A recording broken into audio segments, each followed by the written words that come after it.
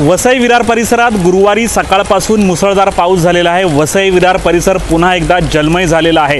मी सध्या उभा आहे वसई पश्चिमेकडील समतानगर परिसरात. समतानगर परिसरातला हा रोड हा मागील दीड ते दोन तासांपासून पूर्ण पाण्याखाली गेलेला आहे. फक्त समतानगरच नाही तर अशी सर्व काही अवस्था झालेली आहे. दीनदयाल नगर असेल आंबाडी रोड परिसर असेल देवतलाव असेल तर पश्चिम पट्ट्यातील अनेक भागांमध्ये पाणी आहे. ही दुसरी दृश्य जर आपण बघितली तर ही वसई पूर्वेकडील एव्हरशाईन परिसरातील आहे. हा परिसर देखील मोठ्या प्रमाणावर पाणी भरलेला आहे.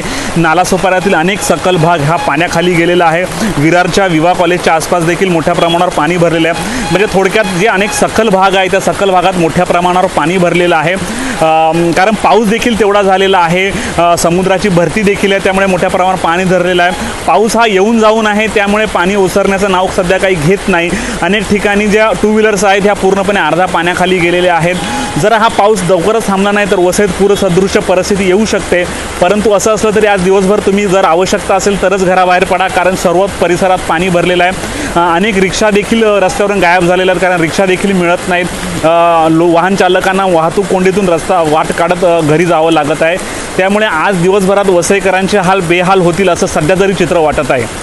एच पी लाईव्हसाठी हनी पटेलसोबत प्रवीण नलावडे वसई.